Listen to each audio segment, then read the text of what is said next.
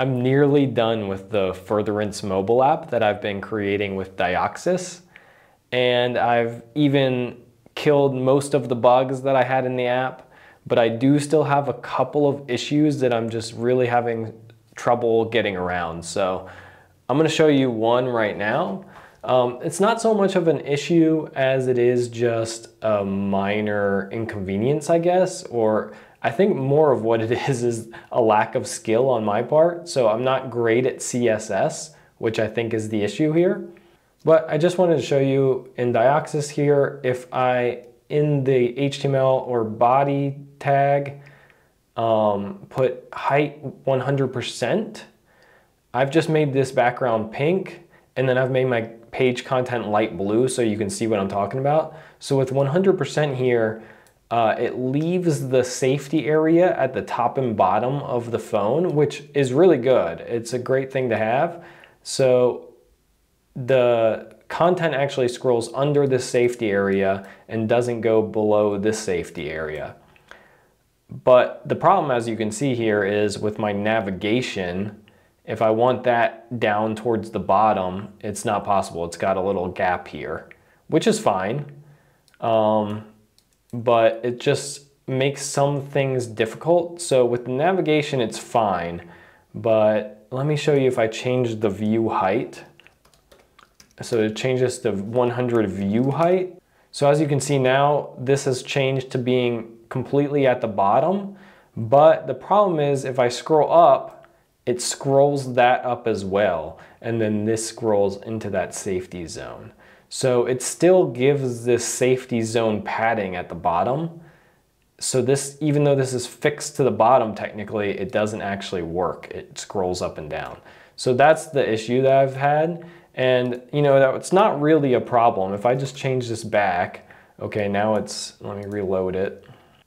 Okay, so now we're back and this is working as it should. You know, if I scroll here, and then there's the gap here. But if I, in my thing, go here to where I have an alert box, so let's say I try to delete a task, a task, the problem I would like to see resolved is that this background area actually goes to the top and bottom out of the safety zone. So I would like the overlay here, this gray overlay to extend here. It's just kind of weird to me that it's cut off. Like if I remove the background colors, then you can see this is how it actually looks in the true app. And it just looks a bit odd with that, that cutoff there. So I would like to see this extend and I guarantee I'm just missing it. I guarantee there's a way in CSS to do this and I just don't know how. But I don't know how. So, so if anybody has any tips on this, I would love to hear them because that's one of the last issues that I'm running into. And then there's one other big issue that is actually going to prevent me from even releasing this app. So luckily I was able to find with the help of some great people on the uh, Dioxus Discord chat, I was able to figure out how to get this thing to actually work on my iPhone. So I've been able to transfer it to my iPhone and test it on my actual physical iPhone. But what's happening is there's no app icon. So I can show you here in this furtherance, there is no app icon at all. It's just this weird, you know, no icon icon.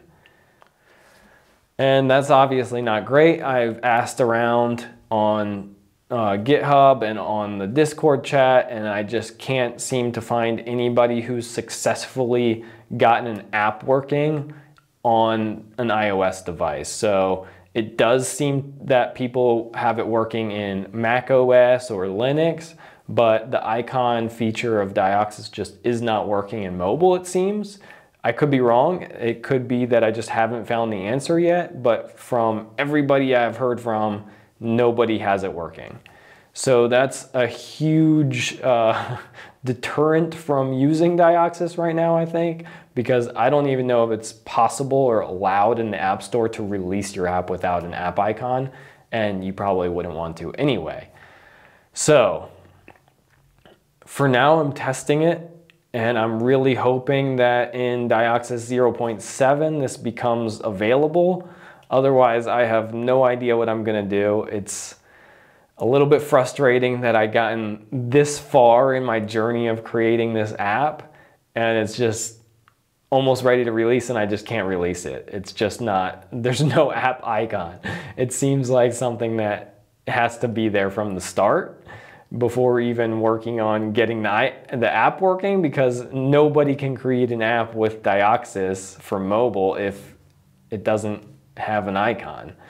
So hopefully this gets resolved soon or hopefully there's just a way that I'm missing. I can show you in my Dioxus.toml. I've got the bundle uh, content with the icon and I have all of these icons the PNGs in a folder, the assets icon folder, and then I've got an ICNS2, but none of these seem to work. So I don't know if it's a size issue or a file format issue that I need something different, or if it just doesn't work yet. So for now, I'm just tweaking a little thing, a few things and testing the app and hoping to get it all perfect so that as soon as I figure this out or a new version of Dioxus is released that fixes this, uh, I can just get the app out right away. So fingers crossed that that works and that that happens. And in the meantime, I guess y'all will just have to wait for the app. So Appreciate you watching these videos and these videos aren't gonna stop just because I'm stuck here. I'm gonna make some more based on little bugs that I find when I'm testing it myself, how I do the testing myself, all that type of stuff.